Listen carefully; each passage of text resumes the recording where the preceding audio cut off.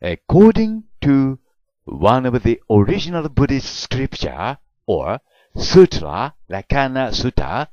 Buddha had 32 physical characteristics in appearance in which it has been pointed out that Buddha had blue eyes with blue hair. パーリー仏教経典の一つである32層経によれば、 ブッダは青い目と青い髪を持っていたと言われています。つまりブッダは少なくともアジア人ではなかったということになります。さらに言えば少なくともブッダは人間ではなかったということになります。またさらに言えば、ブッダは父親のストダナガウタマと人間の母親のマヤとの間で、ペルセポリスで生まれた二分の一ハイブリッドであったことが、さらにこうして裏付けられたということになります。広し林、浜松セティ、ジャパン。では、画面を見ながら説明します。32層経。つまりですね、ブッダの表面的、つまり身体的な特徴をですね、32箇条の教条にまとめたのが32層経ということになります。で、私はですね、最初、その32層経を読んだときにですね、その書き方がですね、東洋医学のバイブルと言われている皇帝大系祖門霊数の書き方に似ているところからですね、これは中国でできた経典かなと思ったんですけども、パーリ語で書かれた原始仏教典の一つであることが分かりました。で、順にその32の特徴について考えてみたいと思います。で、まず、ブッダの足はですね、まあ、ペラペラの扁平足であったということなんですね。で、そのペラペラの足で思い出したのが、アッシリアに残っている、まあ、神のレディーフです。で、この神もですね、足がペラペラなんですね。で、この神は歩行補助装置をつけています。で、向かって右の黄色い部分が足で、で、左の方の赤い部分が歩行補助装置ということになります。間が透けて向こうの衣服が見えています。まあ、ブッダもひょっとしたらそういったものを身につけていた可能性があるわけですね。で、やはり、まあ、足のことなんですけども、足の裏にはこうした印、サインが、まあ、あったということです。神としてのサインということになります。で、3番目。で、手足が長くて、まあ、スレンダーであったということです。で、その指で思い出したのが岩窟の聖母です。この中に描かれている中央のマリアと言われている女性はですね、大変長くて、まあ、スレンダーな指を持っています。そしてその指がですね、イエスの皮膚の下に、神秘の下に潜り込んでいます。まあ、ブッダもそういった指を持っていたってことになるのでしょうか。で、やはり、扁平足なんですけども、足のかかとが広く平らかで、平らであったということですね。で、やはり先ほどのアシリアのレリーフを思い出しました。で、まあ、平らって言いますか、まあ、アシリアの神はですね、このようなペラペラな足で細い足をしていたわけですね。ですから地上を割ることできませんでしたから、えー、歩行補助装置を使っていたと、林博士は判断しました。で、手足の間に水かきがあると。これはあの昔からと言いますか、常識的に私たちがまあ聞かされてきた話なんですね。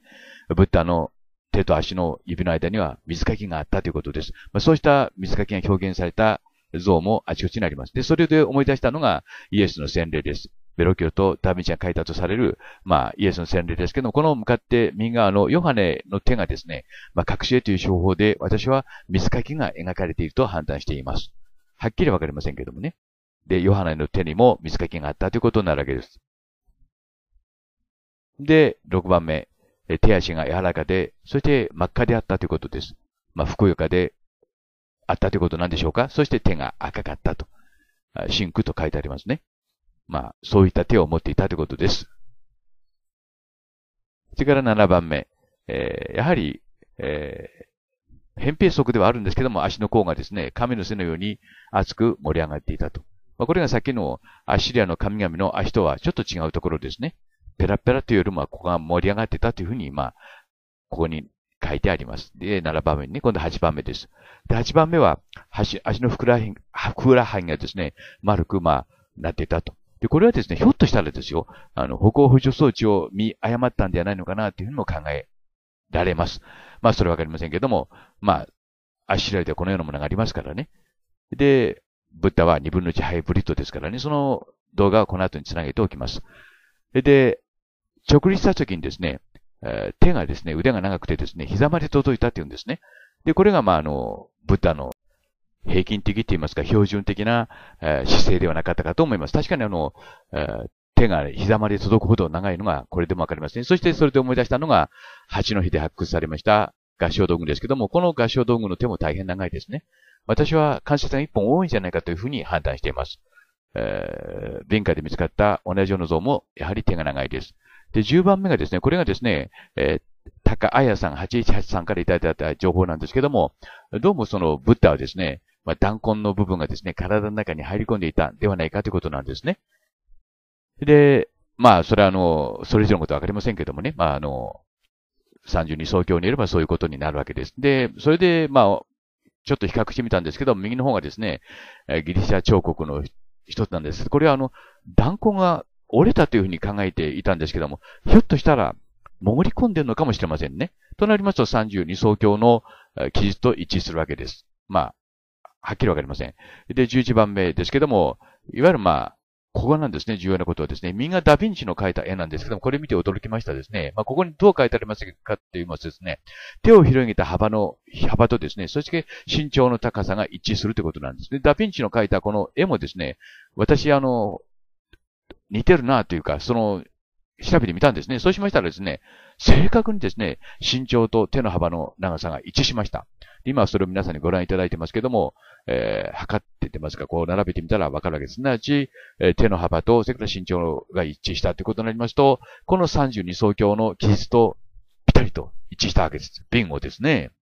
それから次、12番目ですけども、えー、毛の先端が上になびいていると。そして、えー、右に巻いて、しかも青い色をしていたということなんですね。で、この、まあ、経典のその記述がですね、文書となるわけですね。えー、文章と言いますかね。で、今まで調べてきました。これあの、右の方はですね、実はですね、ブッダではなくて、あの、いわゆる大日如来、菩薩なんですね。ですから、ミトラの方なんですけども、皆、まあ、青い髪をしていたということです。神々、ひょっとしたら青い髪をしていたかもしれませんね。そして、あの、髪の毛はですね、あの、良い匂いを放っていたと。毛からは放ってたんですけども、この絵の中に、まあこれ右の方はですね、神聖な礼拝堂のメケランジョの描いたと言われている絵なんですけども、この人もですね、髪の毛が青い青いんですね。ですから、本当に青いのかもしれませんね。えー、ということで、まあ、あどう、どうなんでしょうか。神々の、もし青いとなったらもう人間ではありませんからね。あで、ブッダの体は、まあ、黄金色に輝いていたっていうんですけども、それがですね、いわゆるまあ、南伝仏教の方ではですね、まあこうして金色に、まあ色付けされたブッダが表現される一つの理由になったんじゃないかと、林博士は考えています。まあそうした言い伝えがありまして、確かにあの、ブッダが入った時に、ブッダの体は黄金色に輝いていたということが言われています。それから、まあこの降臨ですね。いわゆるまあ、後輩って言いますけどもね、あの、後ろにこう、出てます。で、これは中央はですね、釈迦三尊像ですけども、法隆寺になります。釈迦三尊像ですけども、こうした後輩もあるわけです。それがですね、アメリカのフラット、フラットウッドで現れました、フラットウッドモンスターと言われている、まあ、エイリアンですね、の後ろと言いますか、後輩とよく似てると、まあ、考えています。スペード型のね、あの後輩ということになります。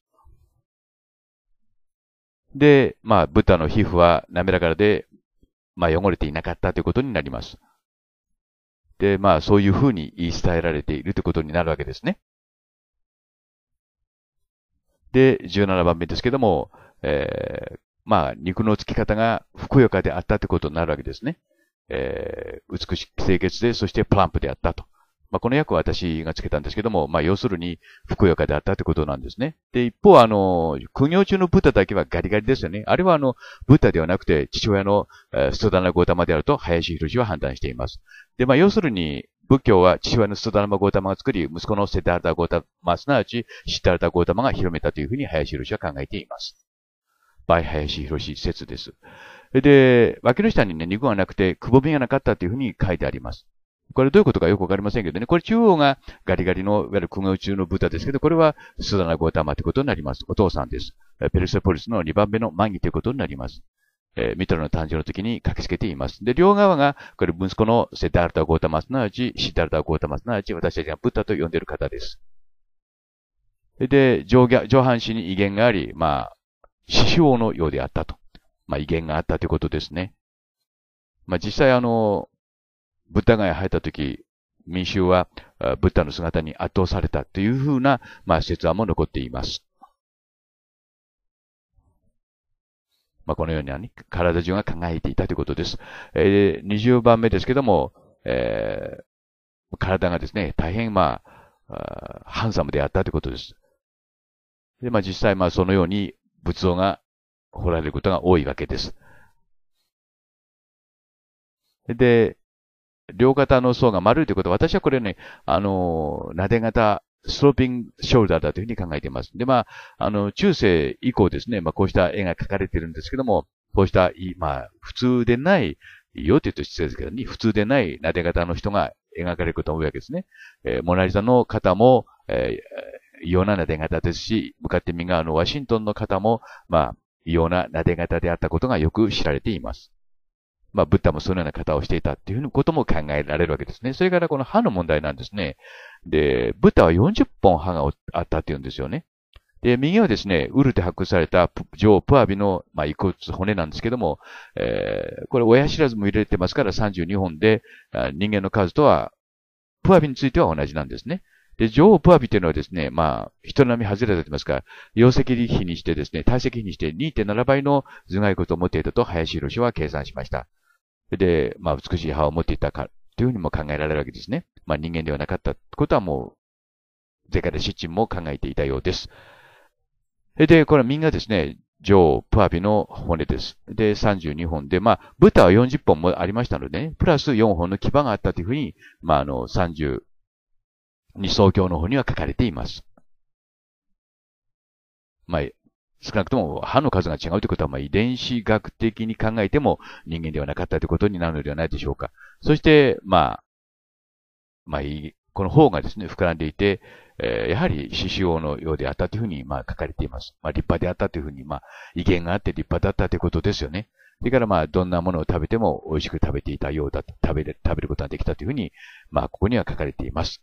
まあ、これ身体的な特徴というよりもですね、まあ、印象ということになるんじゃないでしょうか。それから、あの、言葉ですね。あの、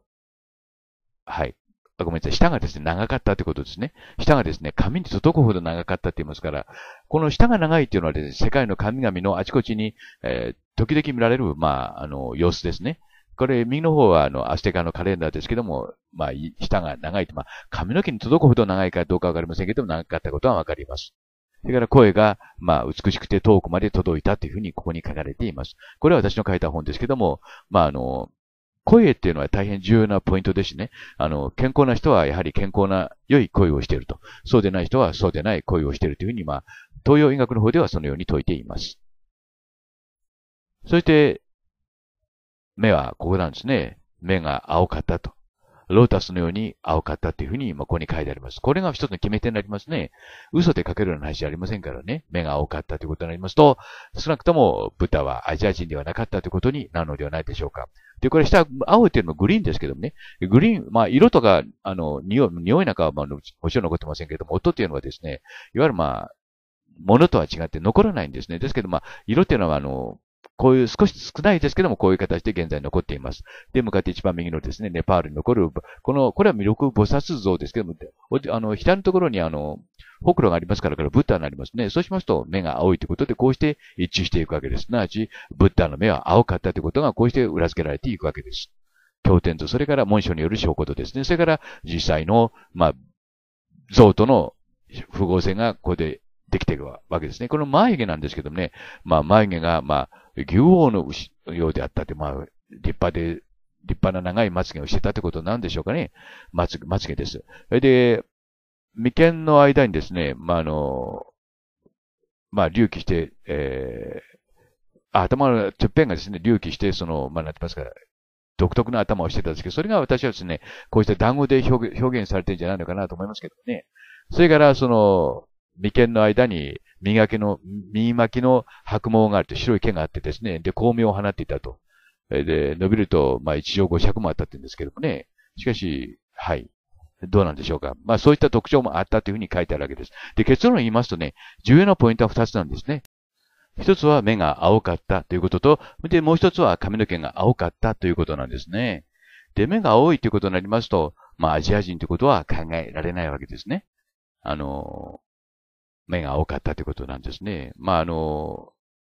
アジア系の人の中にはたまにですね、青い目の人が生まれることもありますが、で、下にですね、あの、先ほど言いましたように緑の目を集めていましたけども、緑の目とまた区別で考える必要があると、林博士は判断しています。で、一番右がですね、ネパールに残る、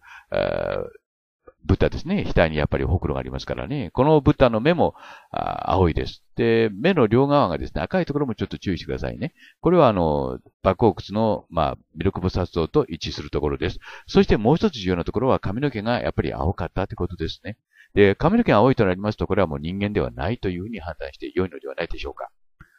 あのはい。で、これはあの、みんな菩薩像なんですけどもね、やはり髪の毛がですね、まあ、美しいコバルトブルーの青で表現されることが多いですね。で、右下はこれはあの、高野山の今後無事の大日如来像ですけども、やはり髪の毛がコバルトブルーに表現されています。この、こういう点からですね、まあ、重要な点はですね、ブッダは青い目を持っていて、そしてコバルトブルーの美しい、まあ、なんて言いますか、髪の毛を持っていたということになります。で、もう一度ここを見ていただきたいんですけども、えー、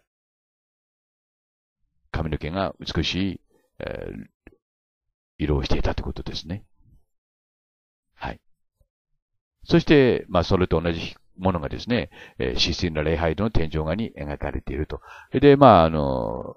こういう形でですね、この人は人間ではないということを表現したんだろうと思いますけどもね。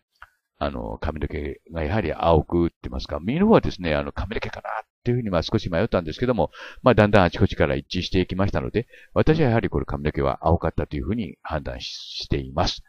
まあ、神々の一つの特徴ということになるわけです。まあ、続いてですね、えブッダ、なち、セッタルタゴータマと、それからお父さんのストダナゴータマの謎についての動画をつなげて、ご覧いた、もしよろしかったらご覧ください。えそれでは皆さん、バイ for now.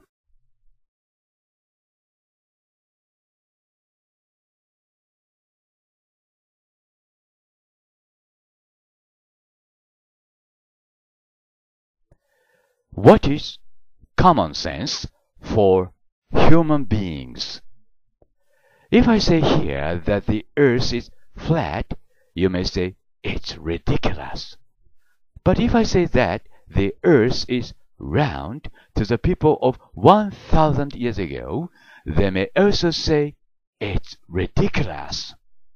Because it is our and their common sense then common sense is a shared knowledge as well as a shared ignorance of a collective.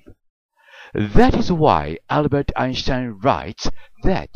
common sense is a collection of prejudices acquired by age 18. Or, common sense is what tells us the earth is flat, as Stuart Chase writes in his book Language in Thought and Action. Here in this video, I sincerely would like to ask you if you are really convinced that Buddha was a man or a male. Before you say it's ridiculous, please give me 20 minutes to share. After 20 minutes, you may feel something changing very rapidly in your mind and heart. 人間にとって常識とは何でしょうか？もし今、私がここで地球は平らだと言ったら、あなたは馬鹿げていると言うでしょう。が、もし私が今、千年前の人たちに地球は丸いと言ったらどうでしょうか？その人たちもまた馬鹿げていると言うでしょう。それが私たちの、そして彼らの常識だからです。つまり、常識というのは大衆が持っている無知、あるいは知識によって作られるものだということです。だから、あのアルバート・アインシュタインはこう書いたのです。常識などというものは、その人が18歳の時までに持った偏見の塊である、と。あるいは、スチュワート・チェイスという言語学者が書いているように、常識などというものはね、地球が平らだというようなものだよ、ということになるのかもしれません。で、この動画の中で私は皆さんにこう問いかけてみます。あのブッダは本当に男、つまり男性でったのかと、馬鹿げているという前に20分だけ私に時間をくださいませんか ?20 分後にあなたはあなたの心の中で一つの常識が崩れ去っていくのを感じるかもしれませんよ。広し林浜祭りジャパン。では、画面を見ながら説明します。この像はですね、現在東京国立博物館に展示されています、えー、釈迦龍像です。えー、まあ、ガンダール仏ですけども、大変完成度の高い仏像ということになります。で、この仏像について今日は焦点を当てて考えてみたいと思うんですけども、この、まあ、釈迦龍像がですね、本当に、まあ、男性なのかということなんですね。見た感じ、まあ、どこか子供っぽいと言いますか、どこか女性らしさを残している像だということになります。で、この像を手がかりにですね、ブッダは本当に男性、つまり男であったのかということなんです。で、ブッダのですね、外見的、つまり身体的な特徴を表している、まあ、経典にですね、32層経というのがあります。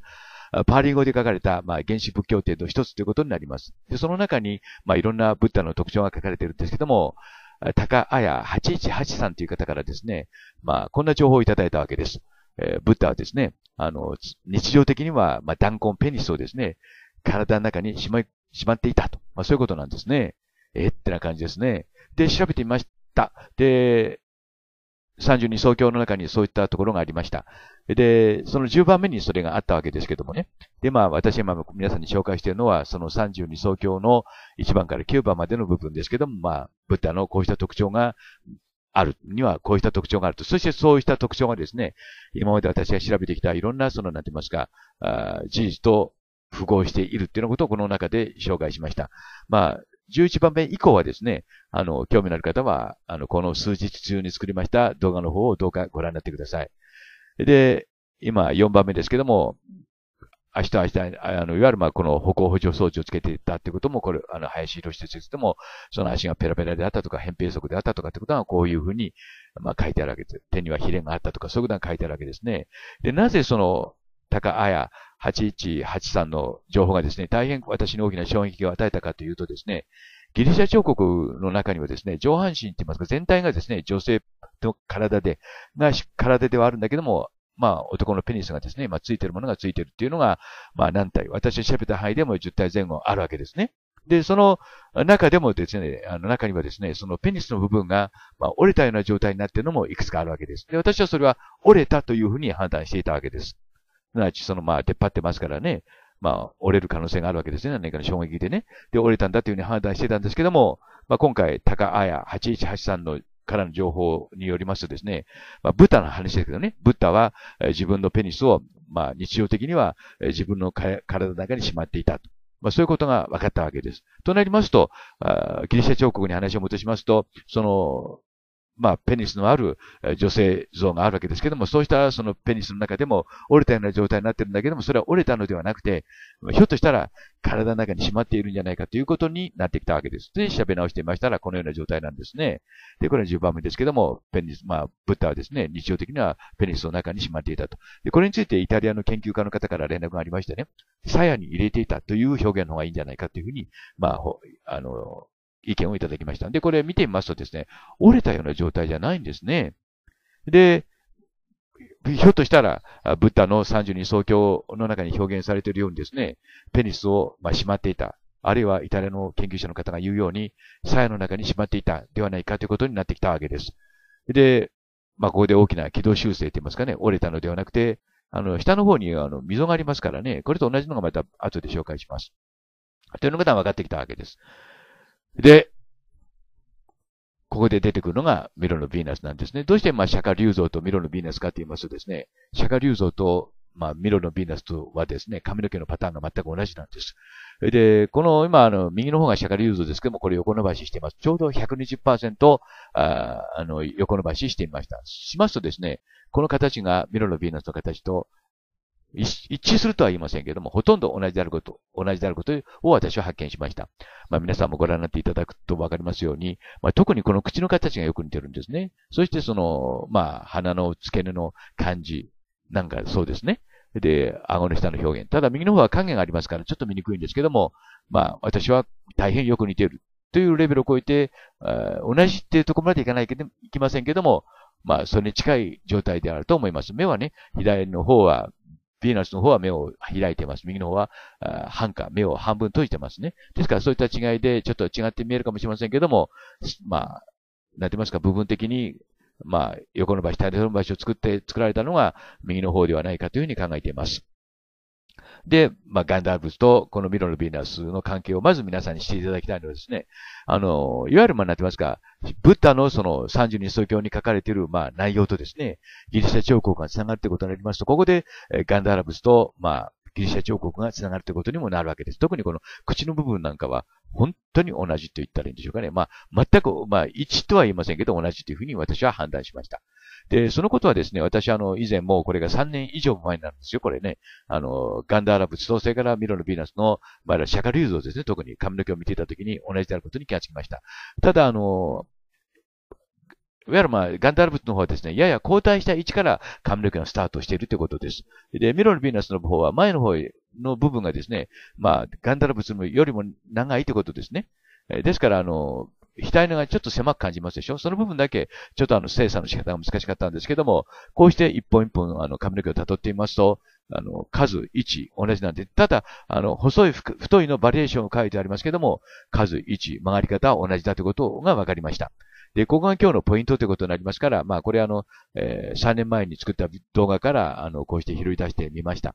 ですから、まあ、それ以後ね、何度もあの、いろんな角度から精査していますので、えー、興味のある方はまた、あの、私の動画のそのあたりまで、まあ、遡って見ていただけたら嬉しいと思います。で、いくつかの違いありますね。あの、例えば耳のあるなしで、あの右の竜像の方は髪の毛があの耳の裏側に回ってますし、左のミロのヴィーナスの方は髪の毛が上に出てますね。それからあのウェーブの書き方も5本あるんですけども、5本側面に、1つの側面にね、5本のウェーブがありますけども、このここですね、全く同じだということです。あのただ、ただ団子の位置がですね、上と、それからあの団子、髪の毛の団子ね、あの、竜像の方は上についてますけど、ヴィーナスの方は、後頭部についていると。まあそういった違いありますけども、ここでよく見ていただきたいと思いますけども、えー、同じなんですね。同じものは同じということなんですね。で、これ、こういった質問ですね、ある、まあ、方に、博物館の方に、あの、ぶつけましたらですね、えー、まあ、当時は師匠というのがいて、そして弟子たちは同じように作ったんだっていうふうに、ま、説明してくださいましたけども、ギリシャとガンダーラですよ。それから、あの、まあ、真似しなくても、良いような部分なんですね。そして、共にですね、一本の髪の毛がですね、あの、後頭部に向かうにつれて、途中で分かれていくわけですね。そして、分かれて分かれて、まあ、最、後頭部に行くわけですけども、その分かり方も一致していると。まあちょっと分かりますかね。ちょっとここでは見にくいかもしれませんけども、5本のウェーブがかかっています。縦にね。それも同じだということです。そして、あの、耳の、いわゆるまあ、いわゆる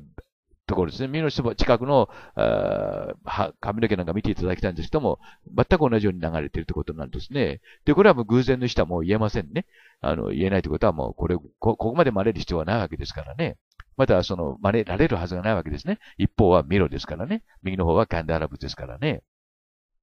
で、こうして比較していきますと、ガンダーラ仏と、それからギリシャ彫刻っていうのは関係性がわかるわけです。で一般的には、ガンダーラ仏っていうのはギリシャ彫刻の影響を受けて作られた仏像であるというふうに言われてますけども、これはあの影響を受けたというレベルをはるかに超えてるわけですね。で、まあこうして一本一本精査してみました。で、これらが同じように、まあ、掘られているということが分かりました。ということから、ガンダール仏と、あの、いわゆるまあギリシャ彫刻の関係性は、今から3年ほど前に私は、えー、把握してました。で、ここにはちょっと右の方は横の場合したんですけどもね、まあ、よく似てるっていうレベルを超えて大変よく似てるってことです。で、ということになりますと、そこ、ここでですね、ガンダール仏、すなわち、ブッダの、まあ、なんて言いますか、あ32層経に書かれているようにですね、えー、いわゆるまあ、ブッダはですね、日常的には弾痕ペニスをですね、体の中にしまい込んでいたってことになってきますとですね、じゃあギリシャ彫刻はどうなのかということになるわけです。そう見ますと、その、今皆さん見ていただいている、向かって左のこのミロのビーナスは、これはあの、弾痕がついてるんですよ。そのミロのビーナスと同じ、いわゆるわゆるまあ、彫刻がですね、二つ見つかっています。特にその中の一つのね、えー、ベルガムで見つかったその像はですね、ミロのビーナスと全く同じなんですね。ただ、ややポーズが違います。これはあの、ギリシャ彫刻の常なんですけども、ややまあ、ポーズが違うと言いますか、わ、わずかな時間差を置いてデータを取ったということになるわけですね。もちろん、3D コンピューティングで作られた、あの、いわゆるまあ、スカレットテクノロジーで作られた、あ彫刻ということになります。で、まあ、ここで繰り返し繰り返し、あの、髪の毛をけ、あの、照合しているのはですね、まあ、このガンダラ物と、えー、いわゆるまあ、ビロル・ビーナスのギリシャ彫刻とはですね、一致しているということを皆さんに分かっていただきたいからです。もっと分かりやすく言えばですね、髪の毛というのはですね、いわゆるまあ 3D コンピューティングテクノロジーでも作りにくいんですね。ですから、まあ、あの、細い、細いですからね。ですから、後からデータをくっつけるんですけども、そのデータの使い回しをガンダーラと、そして、えー、ギリシャで行っていたということになります。そして、先ほどちょっと照合しましたように、顔も大変よく似ているということなんですね。その間を埋めてくれたのが理想郷と、そして、えー、まあ、ギリシャ彫刻の中で、体は女性なんだけども、あ、いわゆるまあ、ペニスがついている、像があるということなんですね。それが、まあ、繋いでくれたということになります。しかもその、えー、ペニスのついたそのギリシャ彫刻はですね、まあ、折れたのではなくて、まあ、これが、まあ、ベルガムで見つかった、あの、像ですけどもね。で、まあ、右の方を見ていただくとわかりますように、こうして、まあ、体は女性なんだけども、あれがついてるという像がいくつかあるわけです。そして、左の二つなんかはこれ、折れたような状態になってますね。そして、この、私たちがミロのヴィーナスと言われてる、言ってる、まあ、像なんですけども、この像とベルガベで見つかったその像が一致するということなんです。ただ、ほんのわずかだけ動きがあります。で、まあ、こうした像も現に残ってるわけですね。こうした像があるもんですから、私は折れたんだ、折れたんだというふうに判断しましたけども、えー、向かって左の二つはですね、折れたんではなくて、あの、どうも中に引っ込んでるのを表現してやるというふうになる、なったわけです。まあ、こうしたとこ、まあ、みんな腰巻きをね、巻いてるところは似てるとか、まあ、いろいろ類似点もあるわけですけどもね。で、まあ、ミロのビーナスは、これは、まあね、あの、まあ一応女性ということで今までずっとそういった常識がですね、私たちを支配してきましたけど、これはもう女性ではない。特にこの左のベルガマで見つかった像と、それから右のミロのビラスを比べていただくとわかりますように、まあ微妙なラインと言いますかね、腰のラインまで同じだということです。で、体についてる傷まで同じだということですね。で、繰り返しになりますけども、ややポーズが違うのは、まあ、データを取るときにですね、わずかな時間差があったからだというふうに林印は判断しました。まあ、そのように判断してね、ギリシャ彫刻は、コンピューターで作られた、あいわゆる立体彫刻であるというふうに判断したわけです。まあ、立体彫刻と言いますかね、それ神々、神々の歴史をですね、えー、彫刻という形で表現した立体、まあ、歴史書であると、林印は判断したわけです。まあ、こうして部分的に見ていきますと、違いを探すことがまずできませんね。まあ、皆さん自身で確認してください。そしてこの腰のボディラインですね。これがですね、まあ、こちらから見ても同じだということですね。そして、ベルガマのその像の方にはついてるものはついてるんだけど、私これね、折れたんだ、折れたんだというふうに、まあ、まあ、先入観で考えたんですけども、これ折れてないんですね。先ほどお見せしました像と後で比べてみますけども、まあ、全く同じ形をしているわけです。で、腰巻きは右の方は下がってて、左の方は腰巻きが上がってるわけですね。まあ、ですからまあ、女性だと思い込んでたわけですけども、左のミノルビーナスはこれはまあ、いわゆるものなってますが、女性ではないと。ヴィーナスではないと。アフロティティではないということですね。で、アフロティティとヘルメスの息子のハーマフロティティということになったんですけども、そうなりますと、いわゆるそのペニスのついた像があまりにも多すぎるわけですね。そうなりますと、みんなハーマフロティティ使ってなりますと、そうもそうもたくさんね、ハーマフロティティを作るわけがないわけですから、まあそうではなくて、ギリシャ彫刻の、まあ、女性像はですね、みんなこうしたものをついていたというふうに、林印は判断しました。ただ、ローマンコピーの方はですね、みんなローマでコピーされる段階で削り取られたと、やはり林博は判断しました。まあ、all by 林博ということになります。で、こうして比べてみますと、左のミロのヴィーナスと、それからベルガマの像とはですね、同じ、すなわち、この弾痕がついていたということになりますね。そして、一番右のですね、えー、シャカリュウ像へと話が進んでいくわけです。で、どうしてシャカリュウ像かと言いますと、その間が埋まらなかったんですけども、それを埋めてくれたのが、えー、33、32層鏡ということになります。で、32層鏡の方にはですね、えー、ブッダはペニスをしまい込んでいたというふうに書いてあるわけですね。で、中央の像を調べてみますと、まあ、これ折れたというよりも、えー、中に引っ込んでいる様子がこれで分かっていただけると思います。折れたなら折れたような様子になってるんですけど、そうした様子は見られないんですね。で、この、まあ、ペニスとですね、先ほどお見せしました右の像のペニスと比較してみますと、これはよく似てるというレベルを超えて同じなんですね。注意深く、注意深くご覧くださいね、皆さん。えー、はい。その、まあ、なんて言いますか、あの、溝のようなものがありますね、下にね。そして、折れ方も、折れ方じゃ折れてないんですけどもね、これはペニスを引っ込んでいるところを表現したもので、いうのではないかということになってきたわけです。となりますと、いわゆるまあ、ブッダのペニスはですね、体の中に引っ込んでいたということが、ギリシャ彫刻の方で、えー、証明されたということになります。そして、ギリシャ彫刻とガンダーラブスの関係は、ミロのヴィーナスとシャカリウ像の関係を調べ、あの、先ほど今紹介しましたよね。髪の毛なんかを見ていただくと、それがわかるということになります。そして、この32総教というのは、パーリ語で書かれた原始経典の一つってことになりますからね、出典は明らかで、明らかって言いますかね、後に、まあ、例えば中国なんかで捏造された経典ではないということですね。で、まあ、ギリシャ彫刻の方にはですね、男性、体が男性の像もあるわけですね。で、そういった男性はですね、こうしたまあ使い物にならないような子供の、言ってますが、幼児のそれを持ってるわけです。で、女性像の方はですね、また一方こうしたものを持ってる。すなわち、えー、ギリシャ彫刻ではですね、男、女というふうに分けていましたけれども、男、女と分けるんじゃなくて、みんな両性具有でですね、男っぽい体の人は、幼児のようなチンチンを持っているし、まあ、チンチンなんて言ってしまいましたね。で、まあ、要するに女性っぽい体の人は、まあ、チンチンを体の中に引っ込めているというふうになってきたわけです。で、こういう流れと、そして先ほども繰り返しになりますけど、32層教に書かれているようにですね、えー、ブッダのチンチンはですね、体の中に引っ込んでいたってことををで繋ぎ合わせますと、どうも、その、なんて言いますか、ギリシャ彫刻で表現されている、彫刻とセクラカンダーラで表現されている、まあ、ブッで表現されている彫刻の間に、こうして、まあ、相関性と言いますか、連続性と言いますか、繋ぎができた、できてきたということになります。えー、高彩さん、818さん、どうもありがとうございました。これでですね、マップ的証拠といいますか、文章として、このガンダーラ仏と、それからギリシャ彫刻が繋がっていたということですね。言い換えますと、一番右のこのシャカリュー像に関して言えばですね、どうもこの人は男ではないということになります。まあ、だからといってね、ブッダが女性ということ子供では言い切れませんけども、その可能性は大変出てきたということですね。まあ、いわゆるこれ、これらの彫刻がですね、まあ、私たちが神々と呼ぶエイリアンで作られたということですからね。ですからそういった視点で見ますと、まあ、そういった意味を持たす、意味のある彫刻を作ったということになるのではないでしょうか。すなわち、まあ、エイリアンはですね、こういう形で、ブッダというのは女性だったんだよということを私たちに示しているということですね。そういった視点で、もう一度この釈迦流像を見ていただくとわかりますように、まあ、これは男性の体とはちょっと言い言い難いんですね。非常に丸みを帯びた、まあ、いわゆるまあ、可愛い少女のような体をしているということになります。まあ、ということで、まあ今日はですね、あの、ブッダは本当に男であったかということを皆さんにお伝えしたくて、この動画を作りました。皆さん、常識ほど当てにならぬものはないということですね。それは冒頭に申し上げた通りです。それでは皆さん、bye for now.